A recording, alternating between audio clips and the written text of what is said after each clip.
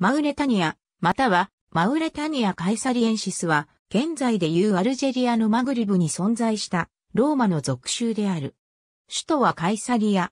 隣接する属州で、タンジェを首都とするマウレタニア・ティンギタナと区別するため、首都の名前を冠して呼ばれる。皇帝ハドリアーヌス在位時のローマ帝国の領域。マウレタニア・カイサリエンシスは皇帝属州であった。紀元後1世紀、ローマ皇帝クラウディウスは最西端のローマの属州であったアフリカ属州をマウレタニアと改名し、同時にマウレタニア・カエサリエンシスとマウレタニア・ティンギタナトに分割した。ディオクレティアヌスのテトラルキアに伴う再編において、マウレタニア・カエサリエンシスの最東部は内陸の都市、シティファを首都とし、サルデを主要港とするマウレタニア・シティフェンシスに分割された。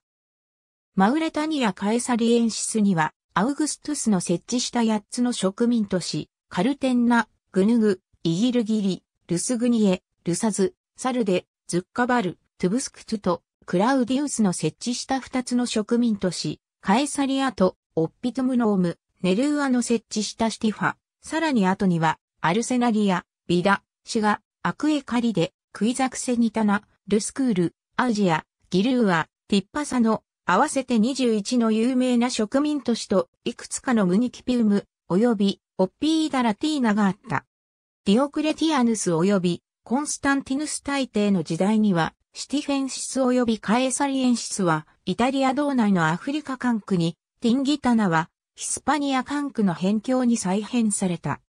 カエサリアは330年まではユダヤ教の主要中心地の一つであり、シティファはミトラ教の中心地の一つであった。キリスト教は4世紀から5世紀にかけて広まった。支配階級の間では、430年にジブラルタル海峡から渡来したバンダル族により成立したゲルマン王国の下でアリウス派に代わり三位一体派が広まった。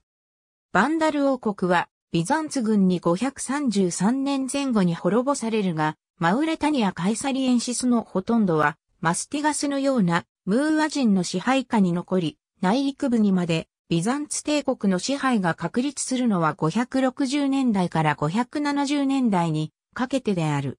ムスリムによるマグリブ征服により、ビザンツ帝国のアフリカ総督府及びこの地方の後期古代ローマ文化は終焉を迎えた。元マウレタニア・カエサリエンシスのほとんどの部分はイスラム王朝領の再生部となり、日の沈む土地という意味のマグリブと呼ばれるようになった。アンヌアリオ・ポンティフィ著に掲載されているマウレタニア、カエサリエンシスにおける名義司教区の一覧を以下に掲げる。